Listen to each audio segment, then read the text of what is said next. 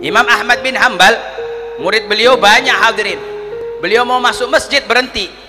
Ada anak kecil. Beliau persilahkan dulu anak kecil untuk masuk. Ada anak kecil. Beliau persilahkan anak kecil untuk masuk. Murid-muridnya bingung. Wahai imam kenapa anak kecil lebih dulu masuk? Nah, apa jawaban beliau? Saya tidak bisa mendahului beliau. Li'anna husabiyyu minas syarif. Dia anak kecil dari garis keturunan Nabi Muhammad sallallahu alaihi wasallam. Imam Ahmad bin Hambal, pencetus madhab Hanabilah, murid daripada Imam Asy-Syafi'i, seorang yang alim dalam syariat, yang alim dalam hadis, tidak mau lebih dulu masuk daripada seorang Habib yang masih kecil.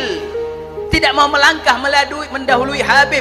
Begitu pemahaman ulama-ulama terdahulu kita. Yang kita butuhkan ulama saat ini yang semacam itu.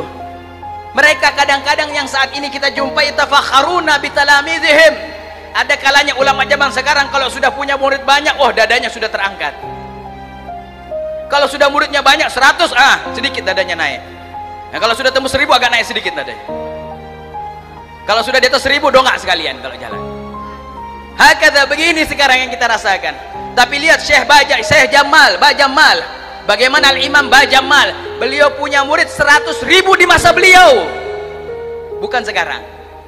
Sebutkan sekarang orang yang punya murid 100 ribu. Beliau punya 100 ribu murid di dalam pendidikan beliau. 100 ribu hadirin. Ini bukan organisasi, walau bukan partai dan bukan kalau lembaga.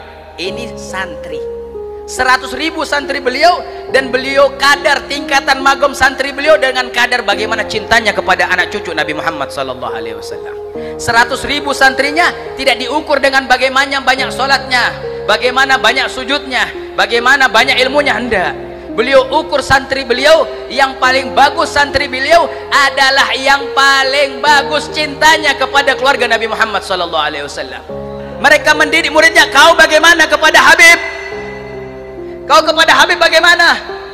Kau kepada anak cucu Nabi Muhammad bagaimana? Oh Alhamdulillah saya kalau temu mereka saya jaga hati saya biar nggak sogon.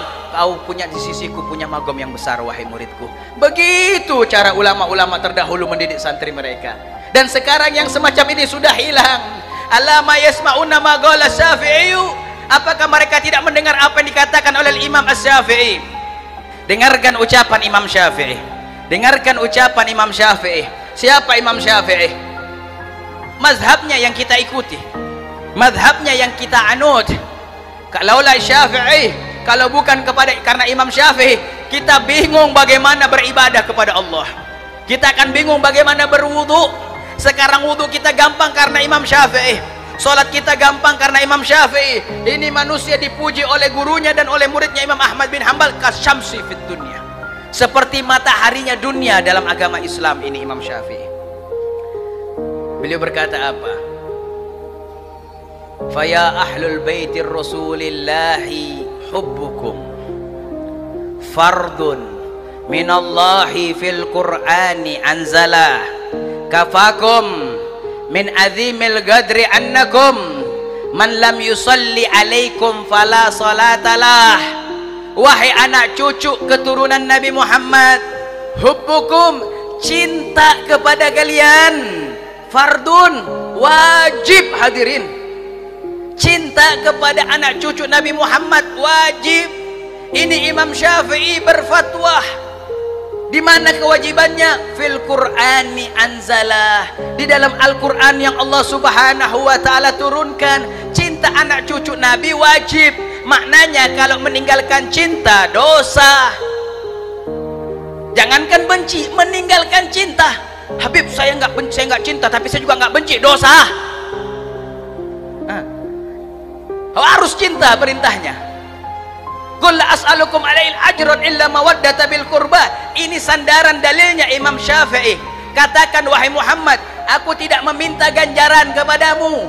Aku tidak minta ganjaran kepadamu dari semua apa yang dikorbankan oleh Rasulullah kecuali mencintai keluarganya orang diperintahkan oleh Allah umat Nabi Muhammad diperintahkan oleh Allah untuk cinta maka meninggalkan cinta dosa membenci double sudah ninggalin benci lagi maka double dia punya dosa. Dan minta maaf orang-orang yang benci anak cucu Nabi Muhammad hakikatnya mereka membenci Rasulullah. Tidak bakal selamat orang-orang yang membenci anak cucu Nabi Muhammad. Rasul sallallahu alaihi wasallam berkata man sabba ahla baiti fa ana bari minhum Barang siapa yang mencaci anak cucu keturunanku Maka aku melepas diri dari mereka. Cari Nabi selain Nabi Muhammad. Cari Rasul selain Rasul Muhammad. Begitu pernyataan Nabi Muhammad.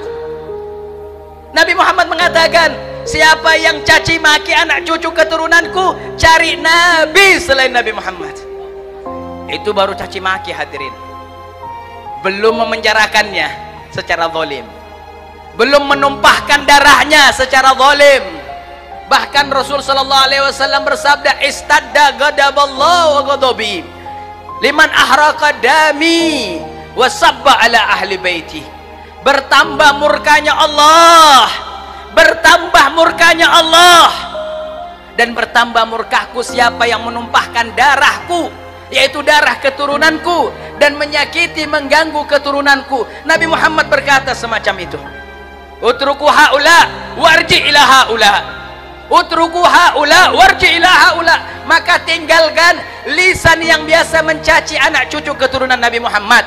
Tinggalkan. Wa in kana Quran wa in kana qad khatamal kutubul kabir. Walaupun pondoknya besar walaupun ngajarnya kitab-kitab besar tapi kalau eh, lisannya caci maki anak cucu keturunan Nabi Muhammad kalau lisannya menyakiti Nabi keturunan Nabi Muhammad tinggalin ulama yang semacam itu hadirin. Kalian bukan dibawa kepada Allah. Fata morgana ajakan mereka itu